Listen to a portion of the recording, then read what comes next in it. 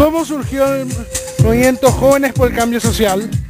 Eh, surgió una iniciativa de jóvenes que quisieron ser parte del cambio de, de, de la zona de San Vicente al ver la problemática de la Arroyo Ferreira. Sí, con, con varias acciones se, eh, se ve que estamos, están apoyando la tarea de recuperación de la Ferreira. Efectivamente, y nosotros a diario nos reunimos para ver qué actividades podemos hacer para recuperar nuestro arroyo. Pero el problema es que la aceptación de los vecinos es muy nula o muy poca realmente. Así como ves ahora.